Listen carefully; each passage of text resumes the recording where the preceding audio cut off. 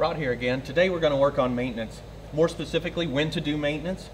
Uh, I've got an RC10B6 here that's had a couple months on it, so it's time to, uh, to do this routine stuff. I'm going to leave the transmission alone today. We're going to talk about shocks and plastic. These cars, of course, don't break anymore, rarely. So the plastic tends to get banged out and it really affects lap times.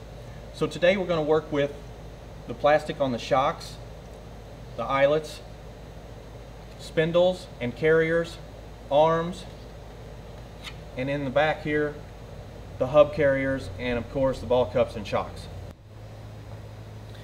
Okay, the first test I'm going to show you here is how to test to see if you need new shock seals. What I do here is I just take a screwdriver and tap on the car gently. The car should return, the shocks should return right back to where they were. They should feel soft. They should snap right back. This car's not doing that. It's got about a month on these shock seals, so it's time for shock seals. So what we're working with here is the front spindle and carrier. As you can see, the axle goes through the spindle, is worn. Where it attaches to the carrier is worn.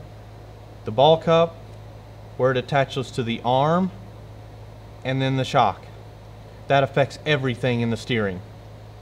It affects the camber. It affects how it goes through bumps. It affects everything handling.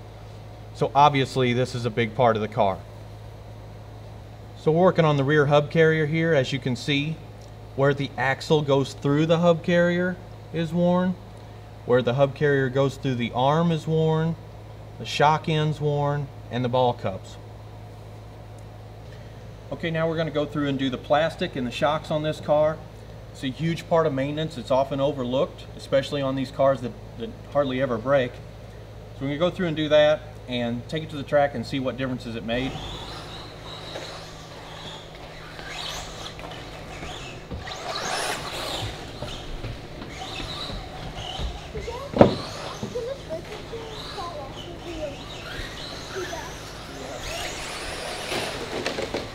Eighteen one.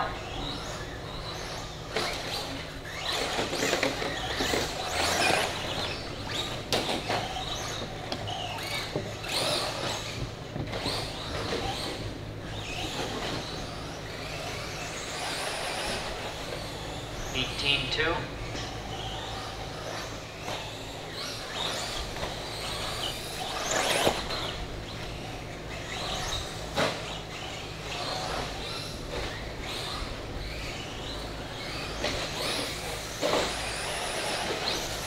Eighteen oh.